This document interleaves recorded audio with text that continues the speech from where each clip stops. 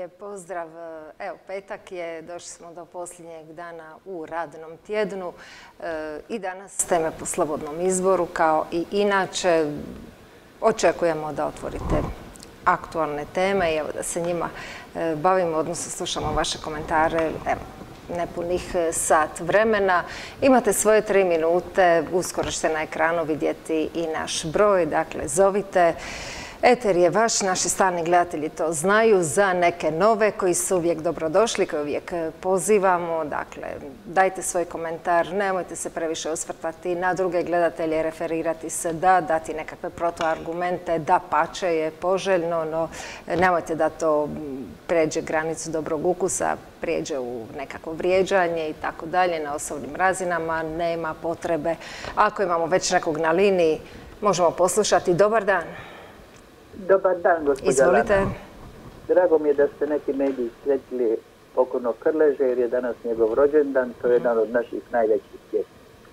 A sad bi prešla na naše životne probleme i teme.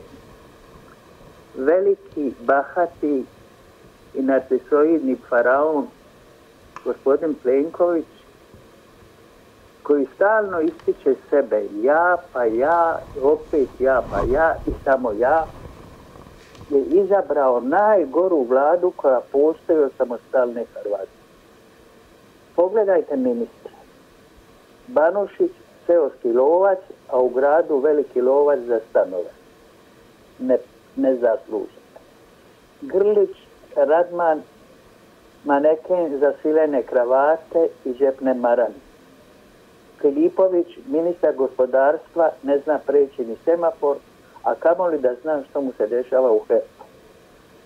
Beroš, sumnak zdravstva. E, promijenjena su tri ministra obnove, pa se sada čitaju veliki uspjesi i to cifraju, pošto je došao gospodin Bačić, i tolika hvala, a u to vrijeme obnovljena samo jedna kuća o umirovljenicima i njihovom preživljavanju da i ne govore. To je jad, jad do kraja. Sustona je kompletno u rasulu. A što radi gospodin Malenica? Ništa jer ne smije ništa. Gospodin Plenković sad traži neku ispriku od drugih i ponaša se kao uvrijeđena frajla koja čeka buke svijeća i možda rukolji. Što se tiče predsjednika, za njega ću reći ovako. Predsjednik Milanović je još u kampanji rekao i predstavio se kao predsjednik sa karakterom. To je i održao. I, to mu niko ne može ostaviti. Koga može trpiti, neka ga trpi, ko ne može, neka ga ne trpi, ali on je legitimno izabran od više od milijun dvjesto tisuća stanovnika. Samo bi bio red da se ovo više prekine, da se oni dva ovna na brvni nekako e, razdijeli ili sastanu ili bilo što, jer narod ovo više niti zaslužuje i ova lijepa zemlja i ja se samo pitam, mila moja zemljo kuda ideš? Pozdravljam vas i ugodan vam Hvala vam, pozdrav i vama. I politički analitičari naravno bave se odnosom bolje rečeno, jako lošom komunikacijom između premijera i predsjednika, pa kaže e, jedan analitičar, ono u čemu Milanović ne može pogriješiti u ovom trenutku, jest da će mu svaki e, napad na Plenkovića donijeti bodove i u javnosti i u dijelu oporbe, ali i u dijelu medija. Dodaje da Plenković ovaj verbalni sukob s predsjednikom koristi da skrene pažnju s drugih važnih tema, poput e, aktualne afere u HEP-u. Dobar dan, slušamo. Dobar dan. Izvolite.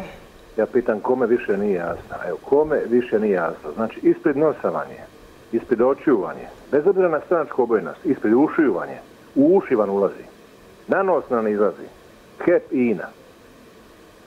Znači, funkcija je nula bodova, funkcija pravosuđa nula bodova, sve njihovo, sve korupirano, uopće ne rade za hrvatski narod. Niko neće, pored toga što nam izlazi na oči, na nos i na uši, neće ništa poduzeti i ta, puna mi kapa te priče o Milanoviću i Plenkoviću, mislim, to nije svađa. To je predstava za javnost. Sve on lipo rekao.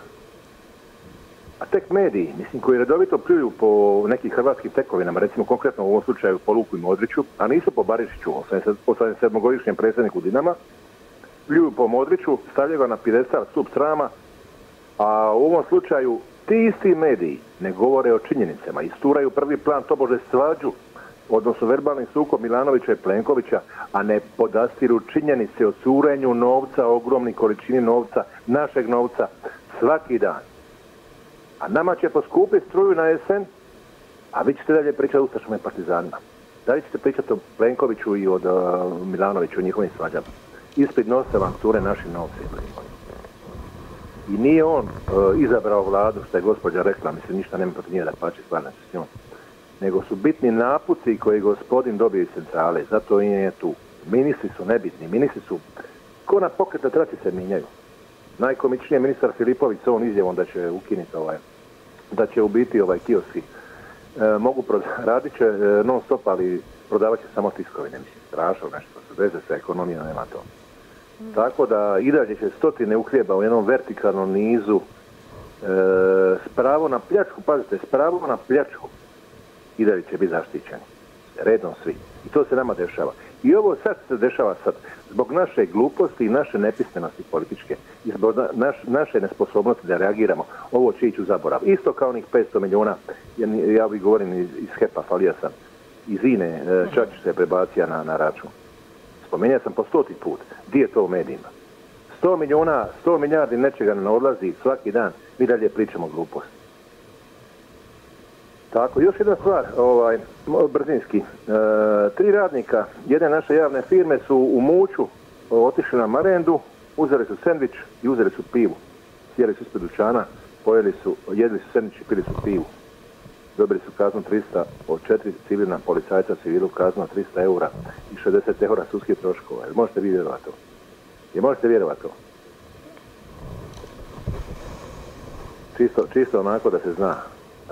Koliko, koliko je ta pravda selektivna, koliko, koliko se izjednačava, koliko se provodi, ne provodi, koliko se provodi na, na velikim ribama ništa, mislim na PPD, prvom plinarskom društvu, Pave Vujnovac bivši konobar, 150 kila, nije bitno ružno, etiketiran čovjek, ali čovjek sa srednjom školom e, drma Hrvatskom državom e, upleten je u ovo, javno prozvan e, premijer govori da ćemo provjeriti da će znati u ponedjeljak. Sprema odgovor za ponedjeljak. Čekamo odgovor dičnog premijera u ponedjeljak. Živjeli.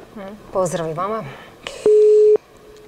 Brojne, evo, nelogičnosti, nepravde, odgovori, zapravo pitanja koja su ostala bez odgovora, da i brojne afere koje mi ovdje spominjemo, koje se rijetko kad raspletu do kraja ili bolje rečeno javnost rijetko kad dozna do kraja što se zapravo dogodilo i kako se rasplela situacija. Dobar dan, slušamo. Dobar dan, poštovanje. Izvolite, slušamo. Evo, nisam se već neko vrijeme javljao, naime usred obveza razno raznih. Mhm. Uglavnom, evo, ja bih se dotaknuo nekih tema, nadam se da ću stići sve, pomalo.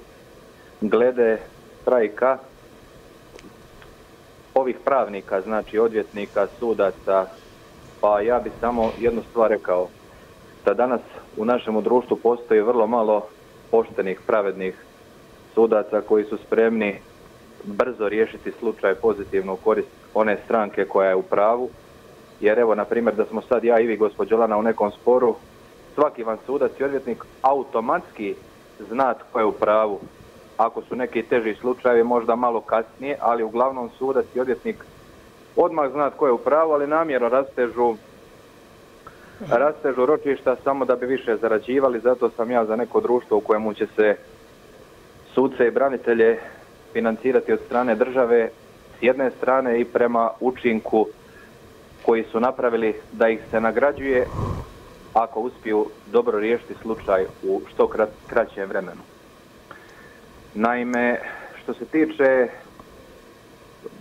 društva općenito, evo mene najviše žalosti što u današnjem društvu, iako me ovdje neki gledatelji mogu zbog toga prozvati, danas e, najviše šute ljudi, nažalost, njih 90% koji su se borili za Hrvatsku. Evo, to je tužna i žalosna činjenica, čast onih 10%, ali 90% njih šuti gledajući rasprodaju.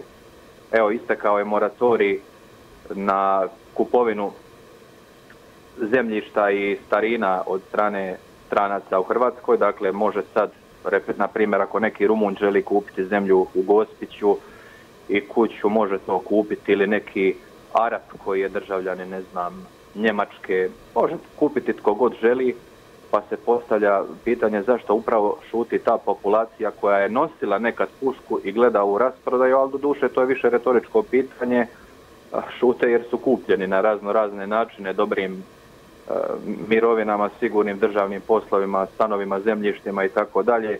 I jako malo je onih koji je ostalo još, koji su ostali postojani i koji se i dan danas bore, i uvijek kažem domovina, pa tako i Hrvatska brani se jednako i u ratu i u miru, pa tako da bi se u biti mir, mi imamo privid mira, jer u biti rat se danas vodi specijalnim sredstvima protiv Hrvatske na razno razne načine. I ovo što vam ja danas govorim, evo, jako malo će vam ljudi to reći. Dakle, dva stupa e, društva šute, a još drugi stup je, su crkveni velikodostojni, koji su uvijek bili ruku pod ruku s vlašću i ne znam baš koliko su bili s narodom. I što se tiče oporbe u ovome našem društvu, oporba vam u parlamentu, u saboru, Hrvatskom saboru, koji se zove Hrvatski, ne postoji. Postoji jedna izvan parlamentarna oporba, već sam to govorio, to je recimo doktor Natko Kovačević, kojemu je recimo ovaj politički sustav zabranio potpuno javne nastupe, zabranjen mu internet i što reći o takvom jednom društvu, ali evo, kažem, ne treba nikad gubiti nadu, ne, mhm. ne treba nikada klonuti i uvijek treba gledati naprijed. Hvala vam. Evo tu ćemo vas prekinuti. Hvala lijepa. tri minute su istekle. E, evo, počeli smo temama po slobodnom izboru.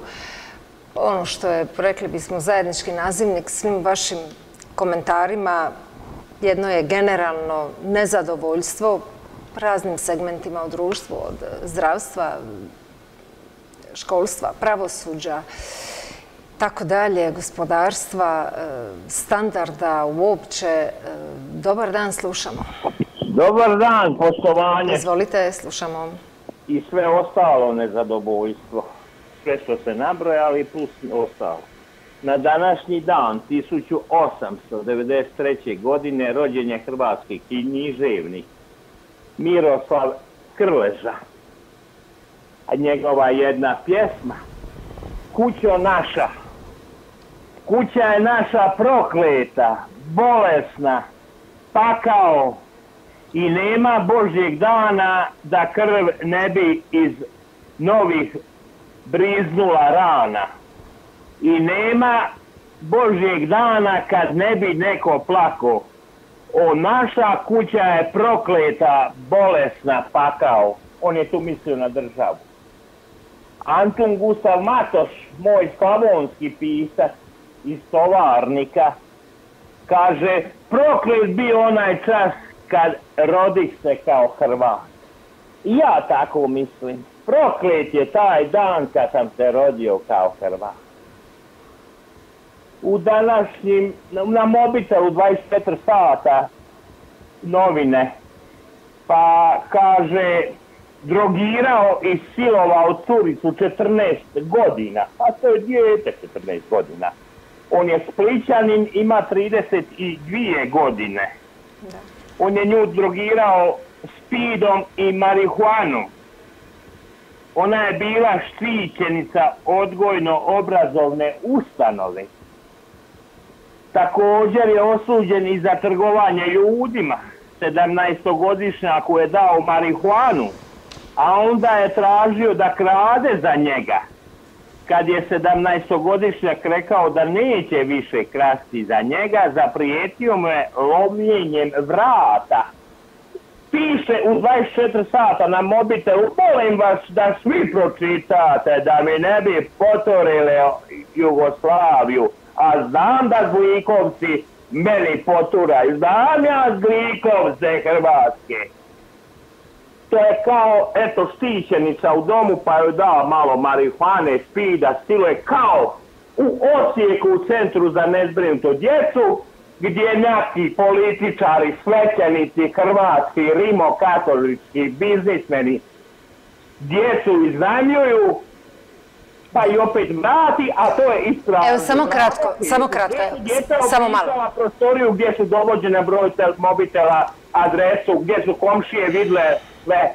Evo, sve to što ste, sve to što ste kazali, da. Bila, da Bog da, da Bog da te zlo popalo. Dobro, ajde, pozdravljam vas. Ajde, malo ste, malo ste pretjerali. Ja sam vas evo htjela u jednom trenutku prekinuti i kazati vam da to sve što ste vi naveli jesu navodi iz medija, istiniti su i tako dalje, no evo možda u nekim budućim pozivima, budući ste kazali da volite domovinu u kojoj živite i lijepih stvari se događa, pa evo možda ponekad i to navesti. Dobar dan, slušamo.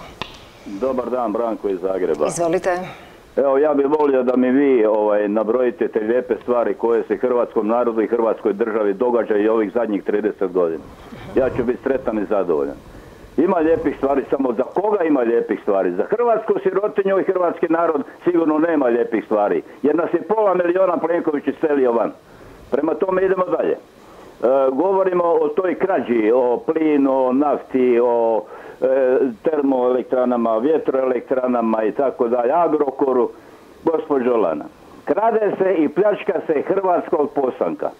I to, I to znate kako? Legalno. Legalno.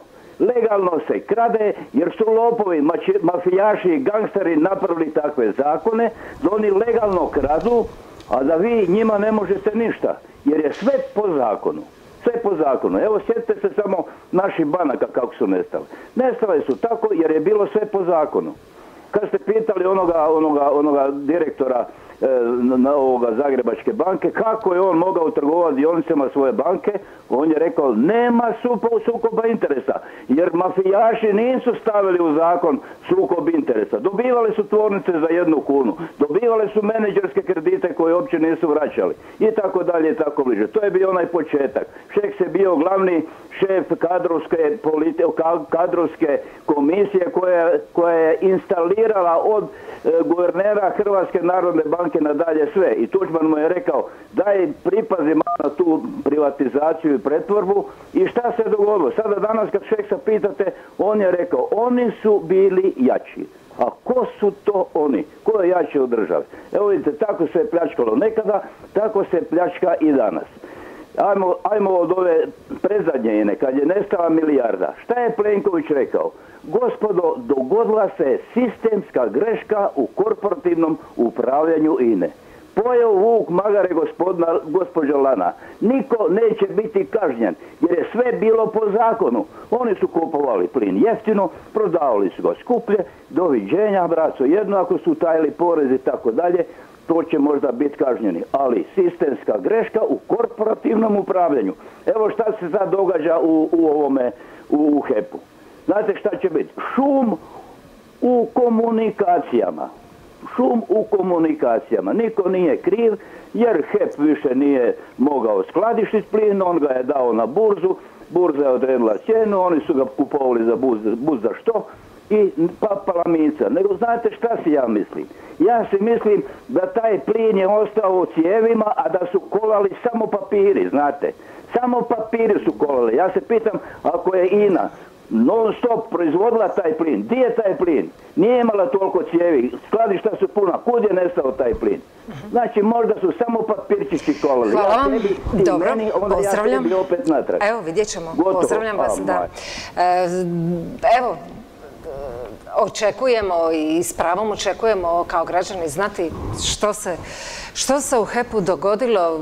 Evo, čuli smo da premijer kaže da i on čeka odgovore i da i njega zanima je li kriminal u pitanju. Dobar dan, slušamo.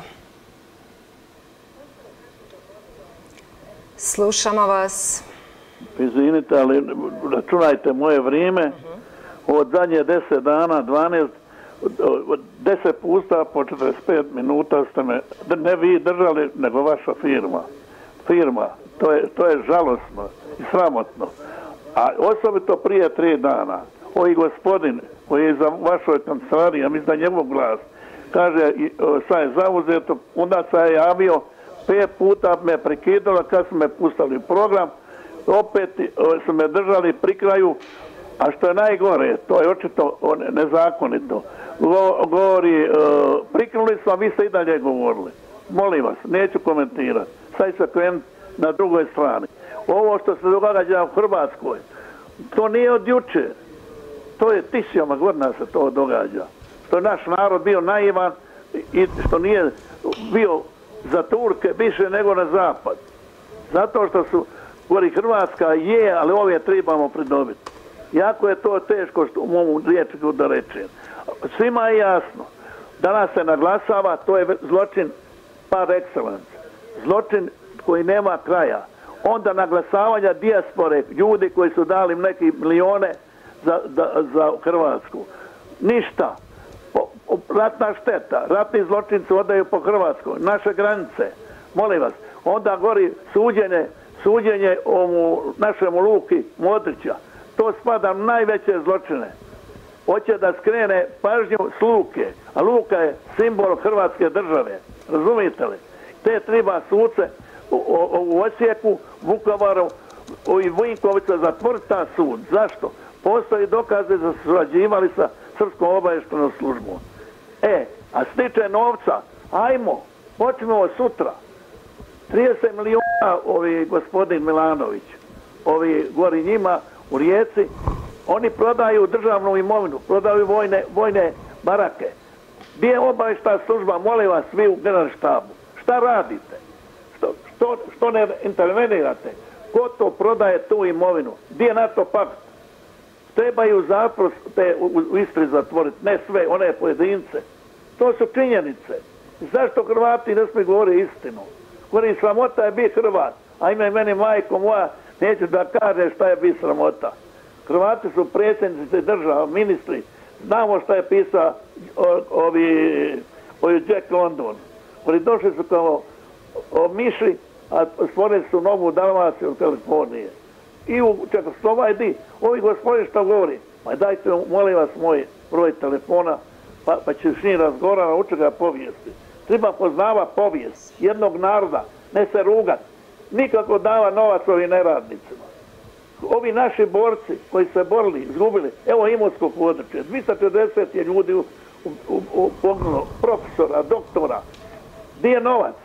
Hvala vam, hvala vam, pozdravljam vas. Saborski odbor za gospodarstvo jednoglasno je danas odlučio da će sljedećeg tjedna održati tematsku sjednicu upravo na temu prodaje plina HEPA ispod cijene i nastalih višemilijunskih gubitaka. Dobar dan, slušamo. Slušamo vas, stišajte ton. Dobar dan. Izvolite. Ja bi malo u ovoj situaciji što se tiče HEP-a i ovog, e, malo mi je ta situacija baš je malo čudna da gospodin naš Plenković ništa nije znao, ništa nije razumio, ništa nije vidio, ništa nije čuo i tako dalje. Ali me najviše iznenadilo, sad sam čitala prije pola sata, potpredsjednik vlade gospodin Butković kaže evo ovo se sad desilo i sigurno sam da se to više neće desiti. Mislim, sigurni smo da se to više neće desiti. Ako da je to nestao jedan milion ili da je nestao stavimo sto tisuća e, eura ili nešto, to su nestale pare i pare, a ljudi su gladni. Umirovljenici žude za kruhom. Viću po ulici, mi smo željni kruha i vode. Naplaćuju, kad je padne kiša, zamutu se rijeke, mi moramo kupiti vodu. Mi moramo sve kilo kruha dva eura. Mi nemamo odakle niti kruh kupiti i vodu, a kamoli nešto drugo. Plenkoviću, gladni smo, daj nam kruha i vode i ništa ti drugo ne tražimo, jer ostaćemo valjda na životu sa kruhom i vodom. Ali ovo je sramota. Oni su taj HEP toliko pokrali, toliko uzeli i Butković kaže to se više neće dogoditi. Ubi čovjeka i kaže neće se to više dogoditi. Ma mislim, je li, to jedan potpredsjednik vlade mjesto da smiri situaciju, da ljudima malo ublaže njihovu bol, neimaštinu, njihovo jad i to, oni još govore, a to se više nešto dogodi, a oni napunili pune džepove para. Ma mislim, ja mislim da to nema nigdje. Ma di u Bangladešu? Bangladeš je za nas, Amerika je Bangladeš za nas. Mislim, sramota... Vjerujete li da, će se rasplesti situacija, da ćemo znati na kraju, evo, što pa se ja dogodilo u Hepu, tko je kriv? Ja vjerujem da hoće, da će se to razvati, ali tu nema koristi za nas mlade ljude, pogotovo umirovljenike, opet vam kaže, koji su željni kruha i vode kad pada kiša jer ne mogu piti onu vodu kad pada kiša. Oni ne mogu sebi priuštiti, voda je 1 eur litra kupljena, kruh je 2 eura, on ne može. Oni su željni kruha i vode. Plenkoviću daj ljudima kruha i vode da ostanu na životu jer nemaju niti to. A svoje ministre najprije nauči, smijeni uzmi novi kadar i uvedi ih u red i ti vodi računa kako će oni vodi svoje resore. A Plenković se uvijek ogradi, ja nisam ništa znao, ja ništa nisam čuo, ja ništa, dobro vjerujem da nije vidio noći očale, vjerujem da ništa ne zna jer on je pravnik, on ne mora svoje druge stvari znat, ali mislim uvijek on ništa ne zna, a kad je nešto ja stvorio, ja napravio, ja učinio, ja dao, ja, ma čije je on dao? Dao je naše što je pokrao nama malim ljudima i dao iz, iz evropskih fondova. A on kao on i kao vlada, kao vlada naša nama ništa nije dala. Evropski fondovi i mi mali ljudi koji plaćamo jer za nekoga traže pomoć i onda šalju nama javite se na taj broj, javite se na taj broj, pa mi sa javljanjem što se javimo na bro- broj zbog tih jadnih bolesnih ljudi, te djece i te, mi to, mi plaćamo, sve mi, ovi mali ljudi. Hvala vam, Ali hvala, pozdravljam vas. dobro da vi Dakle, evo kako i gledateljica kaže, upravo je tako otprilike kazao i premijer Plenković e, da vlada trenutno nema sliku o tome tko je kupovao viškove domaćeg plina koji je HEP otkupio od INE, po kojim cijenama i koji su pritom gubici HEP-a. Najavio je da će te i druge podatke iznijeti nakon temeljite analize koju očekuje od Ministarstva gospodarstva. Dobar dan, slušamo. Izvolite. Halo, dobar dan i po to. Mislio se da vas neću dobiti, ali evo, Izvolite. dobio sam vas.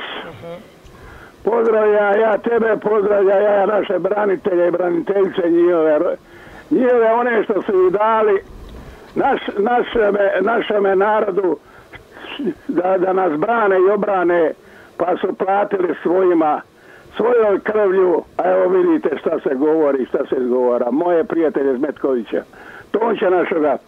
Evo vidite, Juče pusta buka od našega predičnog predsjednika, pa evo lipo mu je uzvratije naš premijer, gospodine dragi, lipo se udostoji, budi kulturan, budi ovaj, umirljiv, ne da ti vriđa svaka ti čast Plenkoviću, da on tvoga oca vriđa nakon trećeg dana umiranja, da on tvoju majku vriđa, majku i državu mi nemoj dirat, ono mi sve diraj. Šta mu nije se napravio, šta mu nije se govorio i sad ga vidite ko bi, ko ga brani. Ko mi ga brani? Sad vidite ko mi ga brani. E, hvala ti, volio sam te, a sad te još više volim Plenkoviću. Jer ih pokažemo da imaš i ti dostojanstvo i da ti počevaš svoje roditelje i svoje, što ono kaže, jer ja ono nikome ne bi rekao na neki način. Evo vidite kukanja velikoga gladi, gladi, velika glad u Hrvatskoj, zavladala velika glad. A imamo samo posluge, ovo Sorino ima i, ima poslugu, biraj manistre, biraj e, kozere, biraj ovaj gulaša, šta god ćeš, uzmi brate, i to ko uzmi oni koji najviše imaju, a tako ima i u Spltu. A oni mi sad ovdje ne, ne valja, ništa ne valja što je Plenković napravio. Ništa ne valja što je Plenković. Davaj, daje, pomogaj kad je bila korona, pomogaj dva, tri puta, pomaže sa, e sad bi one sve pili da bi to kako bi, ja sam jedan, jedan umireljeni penzioner, šta bi treba ku- ku- kukat na njih, ali nije mi on kriv, nije mi Plenković kriv, krivi su mi oni od 2000. koji su bili 740. Krivi su našim braniteljima, oni koji nisu volili branitelje, što su našim braniteljima odnijeli, a oni neprijateljima dali, što ima takve i u sportu.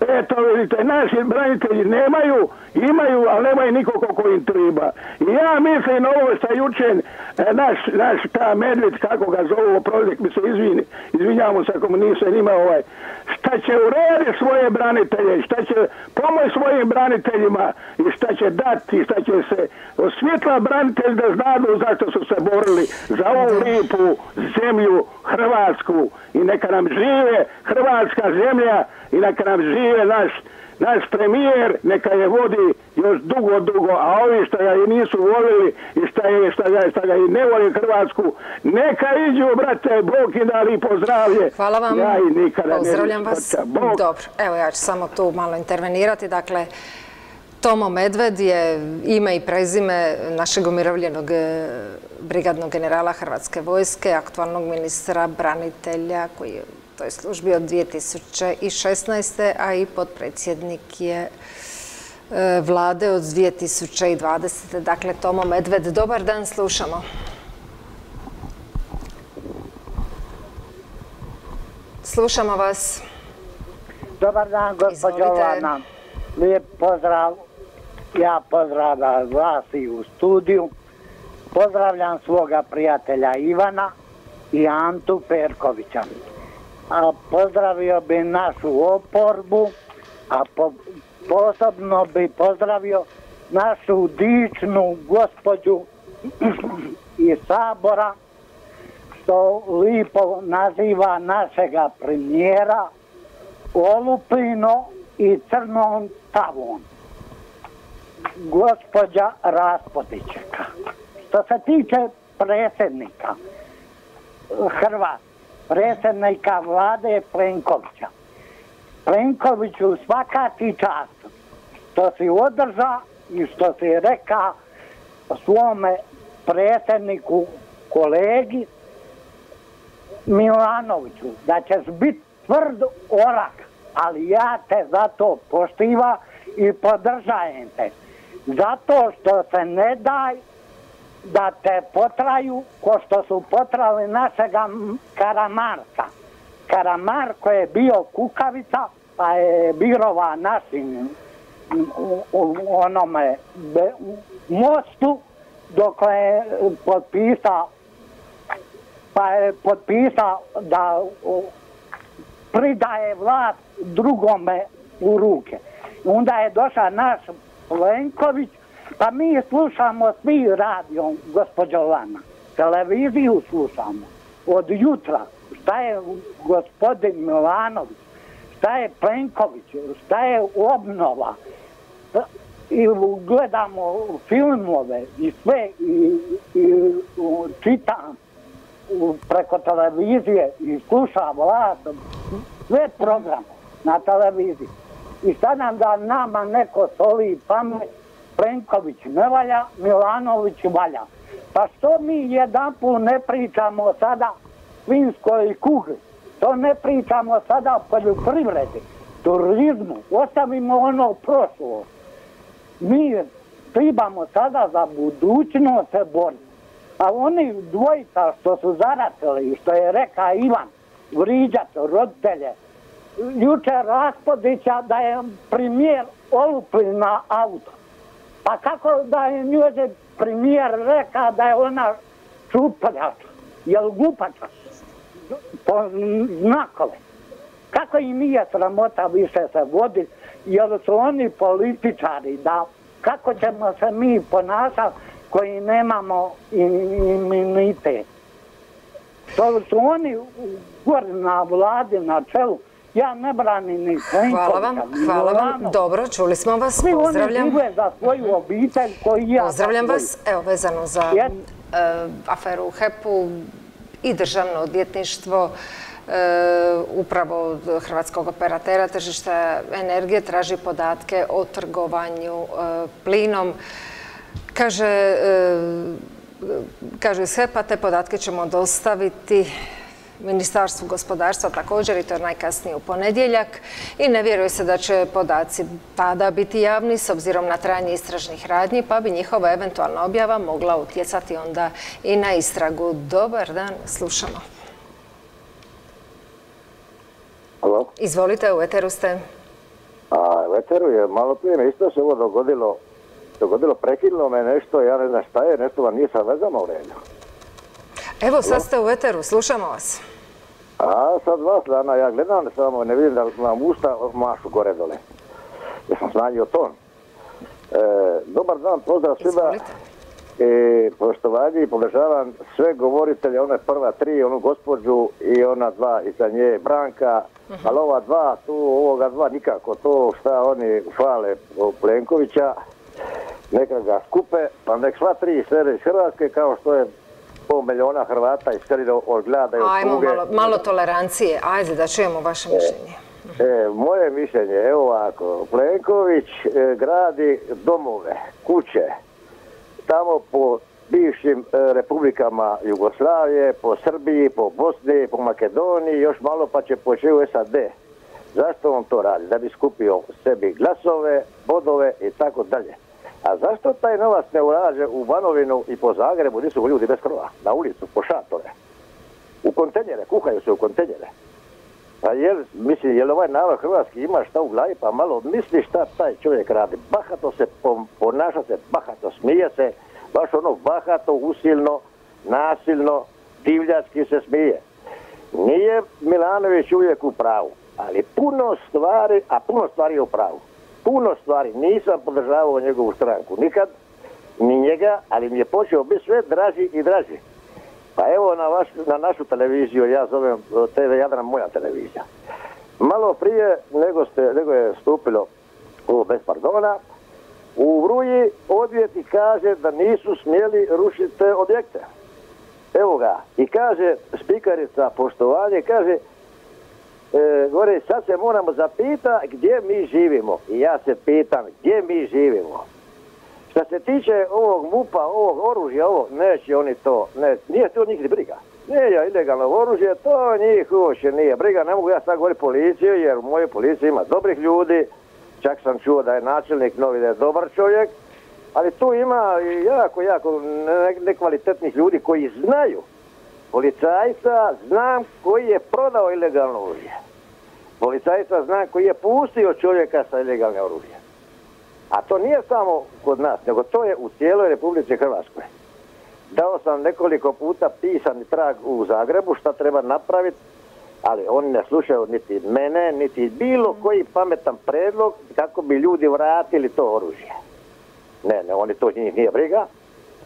Evo Levočuvar, tamo u, tu nekuda u Zagori.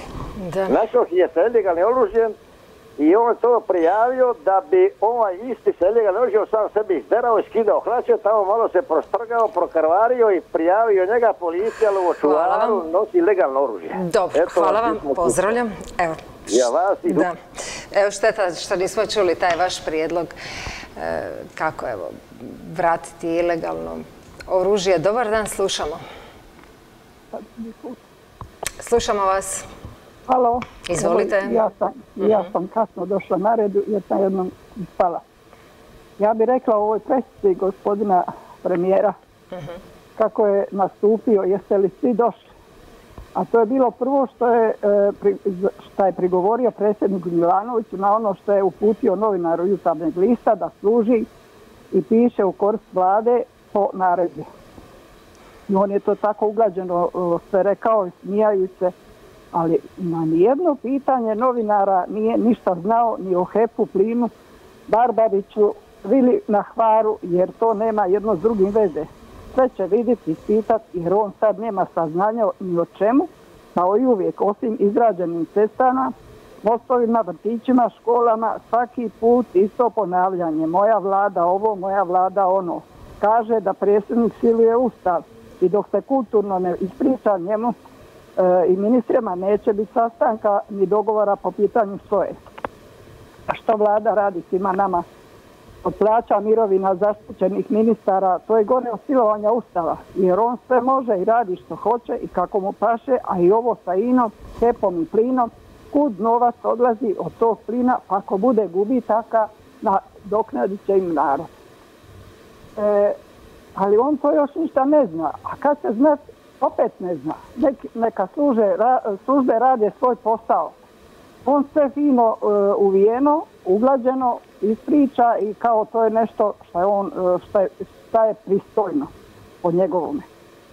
E, ja bih rekla da je dosta da na on maže oči sa kolomasti i on i njegova vlada sa kolomasti od kola koja bolje klize da ne štropotaju jer on vozi preko svih granica bez zaustavljanja, škole, vrtići, ceste, mostovi, mi ovo, mi ono, moja vlada zasluge.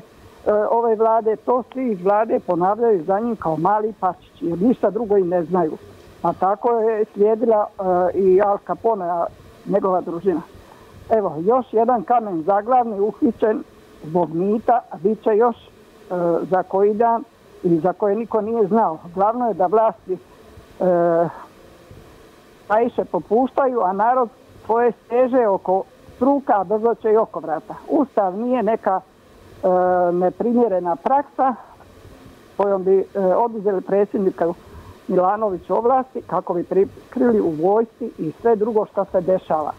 Šest godina vi premijeru ignorirate ovaj narod kojeg je vaših 26 ministara umreženo u veliku hobotnicu pljačkalo ovu zemlju svaki dan izlazi u javnosti i dok im vi dopuštate, oni će to raditi sve više i više. A vi ih ignorirate, ništa ne znate. Ustav nije neprimjerena praksa i neće predsjedniku ovo malo ovlasti oduzimati braneći sve ono što vama ide na ruku. Štiteći Banožića i dalje štitite one ne ustav, za koju vas narod i oporba novinari pozivaju. Pozdravljam vas.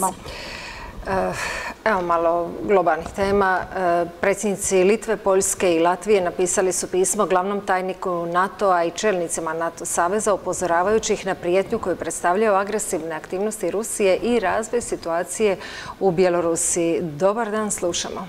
Halo. Izvolite. Je, dobar dan, uvažena voditeljica. Ima jedna priča, kaže, kakav je čovjek kojega ista zmija ugrize ispod iste ploče dva puta. Lud. A to sam ja. Ali izgleda mi da ću doći do pameti. Ja vas pozdravljam. Kako vi budete vodili emisiju, ja ću vas samo pogledat i gledat zatvore televiziju. Pozdrav. Vaša volja. Dobro, evo čula sam vas. Pozdravljam vas. Eto tako, pa nešto više. Dobro. Idemo mi dalje. Evo imamo još desetak minuta do kraja. Možemo prihvatiti sljedeći komentar.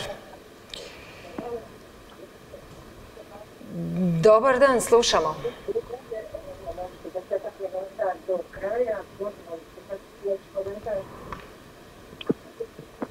Imamo li nekog na liniji? Režija? Dobar dan, slušamo. Izvolite. Dobar dan, gospođo. Izvolite. Evo, uključite se, hvala posle ovog dobrog čovjeka. Ovaj, ja vas pozdravljam i vašu ekipu i moga Boru iz Postire. Ja, vi znate dobro da sam uh, Plenkovića diga, dizao nebesa i čak sam vam rekao da će dinastija ona biti, da će dica ga raslijediti i to. E vidite kako sam se grdno, grdno priverio. Nakon dvi, tri godine gospođa Isolina koja je osnovala HDZ ovaj, dala mi je oči u glavi zeru pameti i, vidio sam da on HDZ rastače. Evo na oporbi, jedino je glavna oporba je Plenković u našoj ovoj vladi, jer ne čini osim Anušića, ne znam, on nije od HDZ-oca nije, ni, ja mislim, ni u Saboru, ni, još ima jedan uh, čovjek HDZ-ovac pravio Tuđmanov i više HDZ-ovca nema. Ima, ali oni samo rade svoje dobro. Jučer sam gleda gospodina Čipu Mlinarića.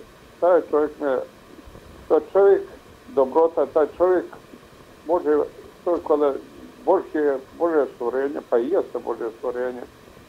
On govori, juče je bilo o o braniteljskim ovim nekim što će sad doći prava, pa i ovi ljudi koji nisu se, na primjer, uspili ženi i ovaj, osjećaj starce i o to dobite domove svoje, brinite se ovaj, e, o njim. I zamislite, gospodin Deur se tako smije, istorija bi je branitelj, smije i snima ga, snima ga. I gospodin Čipo je rekao, bolje da, ne, da ovako je rekao, ovako rukom je po, bolje neću ništa reći, ti mu je reći od njegova ratna puta. Onda jedna gospođa koju ne mogu ispravno kaže gospođa smisliti iz oporbe, ali je istinu rekla o gospodinu Đakiću koji je predsjednik lidere kako je stekao imanje on i njegov sin. Nije sigurno s ovakvim ovaj, uh, bio u Je, bio u borbi, bio i ranjen, ali njegov sin jednom prilikom je rekao iz hotela ima, znate policija došla, znate li čiji je to sin sa ja sin? Pa još gore ti ako si branitelj, od branitelja, ako si napravio nepravdu, još gore ti treba sankcije prema tebi. E tako, moja gospođo Tafra, ja pozdravljam vas i vašu ekipu. Ne, ma više potrebe se javljati jer HDZ ide u provaliju sa ovakvim premijerom. Puno zdravlja i sreća vama i vašoj ekipi. Lijep pozdrav i vama. Evo, idu nam i posljednje minute emisije, 16 sati i 18 minuta. Dobar dan, slušamo. Evo, Halo, izvolite, dobar dan. slušamo. Evo, pozdravljam vas i Također. gledateljstvo i slušateljstvo. Evo, ovaj, e, ja bih se osvrnila, osvrnula na situaciju koja je sada momentalno aktualna. E, predsjednik e, Milanović, predsjednik države, je najgora moguća šteta koja nam se dogodila.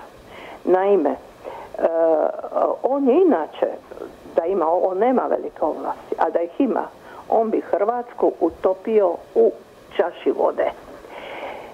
Svu oporbu je poveo za sobom, svu oporbu. Vidite vi kako se ta oporba ponaša u Saboru. Oreškovićka je rekla da je Tuđman metastaza Hrvatske. A Peđa Grbin, kojega ja uopće ne cijeni jer on je ras- rastočio SDP, a bilo bi dobro da Hrvatska ima jednu dobru oporbu, e, neki dan govori za ministra gospodarstva da je on nesrića. E, a da druge stvari nego ništa govori. E, došlo je, zahvaljujući Milanoviću, došlo je do takve političke nekulture u Hrvatskoj, oni ga slijede i ponašaju se isto kao on. A on je čovjek nesuradljiv, E, kad ljudi iznose ovu teoriju da je ovaj e, da je to svađa između e, premijera ja sam pratila od početka dobro se sjećam svi sve stvari počinjali su od napada Milanovića i ružnih riječi koje on upućivao Plenkoviću i ovaj naravno odgovarao. Mada mu ja nikad ne bi odgovorila. Jer stvarno čovjeku takvom odgovara, to je strašno. E, E, to šta neke žene ovdje sad govore da on govori Plenković ja ovo ja pa je Hrvatska je velikim koracima išla naprijed od kako je on. Ali e, ovo šta nam e, Milanović radi šta on čini to je e, nezabilježeno u analima jedne države. On nas je osramotio u cijelom svijetu. I još nešto ovo šta se neke žene šta im smeta ako je čovjek se ministar lijepo odjenuo pa je stavio kravatu i, i ovaj i u, u rever je stavio ovaj u džepić od odjela je stavio e, maramicu to, to je njima nešto strašno. E, kao da to nikad u životu nisu vidjeli.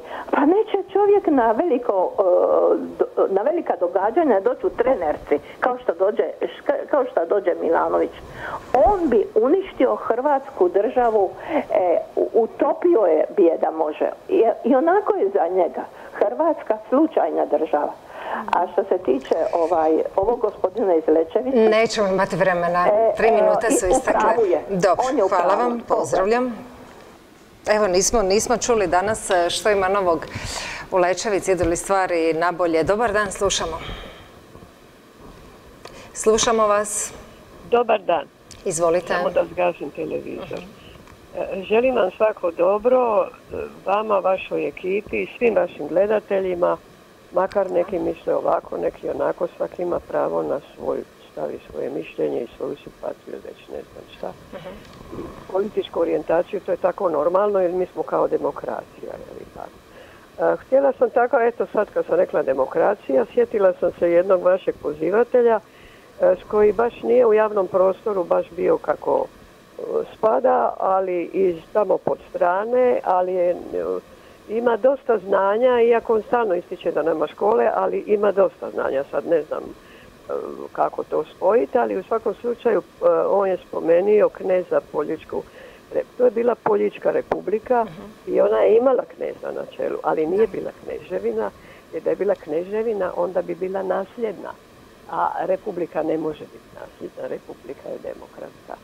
E, što se tiče jedne druge priče o pedofiliji i što sam ja jedan put rekla da ne volim to slušati, e, postoji i spomenuto je i nešto sa mačkama, a to je sodomija. To nije pedofilija, to je sodomija i to je e, odlazak sa životinjama. Imate odnos, to je strašno, ali isto tako povijest je zabilježila da jedne eminentne evropske zemlje, jedan eminentni princ, što ja ne bi sad rekla ime, je imao kao svoju seksualnu partnericu kozu.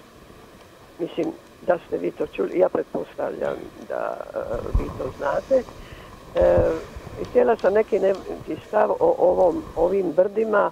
E, jedno brdo koje mi tako narod nazivamo je izvršna vlast, a jedno brdo je predstavnička vlast. Oni dvoje su, svaki čovjek je, mislim, premijer ili predsjednik je na svom položaju.